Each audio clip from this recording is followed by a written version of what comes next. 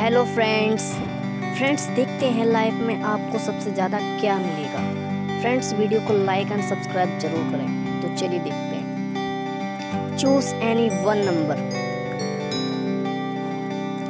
loading just wait अपना number ध्यान में रखें। चूज़ योर नंबर वन आपको बहुत इज़्ज़त मिलेगी friends choose your number two आपको बहुत सारा प्यार मिलेगा।